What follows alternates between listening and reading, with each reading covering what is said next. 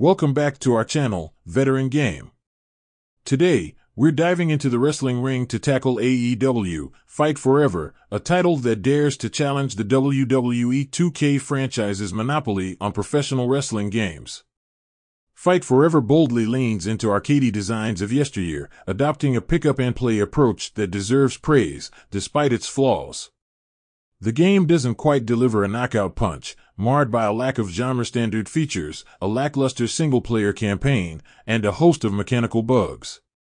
It's a fighter that's not quite ready for the main event, but it's commendable for entering the ring. Visually, Fight Forever pulls no punches, with its cartoony character models and lively animations. The 52 competitor roster is filled with well rendered caricatures. Kenny Omega and Jon Moxley's are among my personal favorites. Even when characters like Chris Jericho seem off kilter, the game's embrace of a less than realistic style brings an appealing flavor to the ring. However, the game stumbles when it comes to mirroring AEW's real life roster. Due to complicated licensing agreements, some prominent characters and championships are noticeably absent, an omission that's almost unforgivable considering their significance in the real world wrestling scene. Fight Forever shines when the action begins. There's an exaggerated dynamism to every punch, kick, and bump, ramping up the over the top nature of wrestling in the same way comic books amplify superhero violence. This game brings unique elements into play. For instance, Malakai Black can spray black mist into opponents' eyes, temporarily scrambling your controls if you're on the receiving end. However, outside the ring, the game falls flat. The menus are clean but bland, the music, despite being performed by AEW wrestlers, is forgettable, and the few voiceovers are inconsistent. The game's lack of compelling creative tools also disappoints. The creator wrestler and arena modes feel bare bones, and the limited cosmetic options make character customization more of a chore than a joy.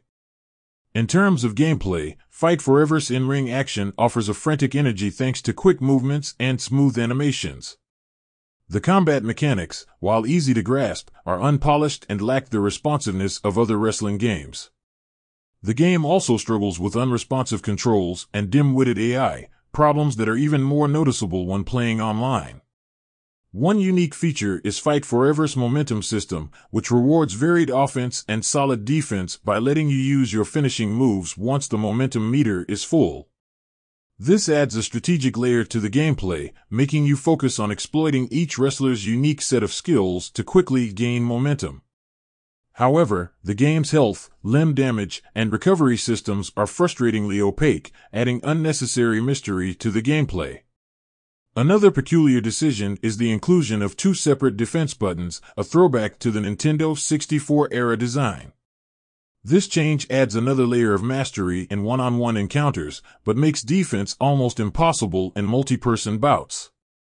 Of the limited match types offered, the anything goes, hardcore style lights out match stands out, offering a hilarious arsenal of weapons, from rideable skateboards to literal explosives. This ridiculousness brings a fun spirit that has been missing from WWE games for a while now. Fight Forever's signature single player mode, Road to Elite, is a throwback to the old school season modes of WWE games.